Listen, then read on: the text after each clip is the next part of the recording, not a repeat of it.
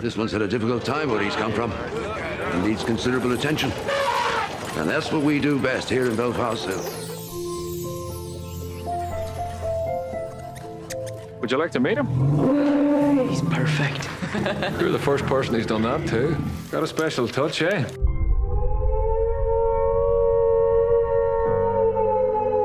I'll be coming home in no time. Look after him for me, won't you? You really in charge out in the elephant? Aye. My dad's away to war. This is Austin. Hello. Who are you? I'm Tom. What's happening? Food's closed today, son. You've got no business being here today. Off you go.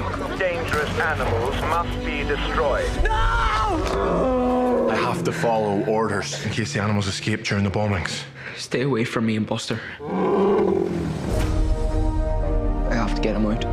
Tonight, For Buster. I had to be my brother. I'm not great in the dark. Much bigger than I expected. He's an elephant, Pete. This is Austin. I need help. That's an elephant! Animals do not vanish from my zoo. Everybody will be looking for Buster. Stop! If they find that elephant, they'll destroy it. This is war, son. We're looking for an elephant. We are so dead. We're a team. Let's finish what we started. You made me part of something very special. Something I'll never forget.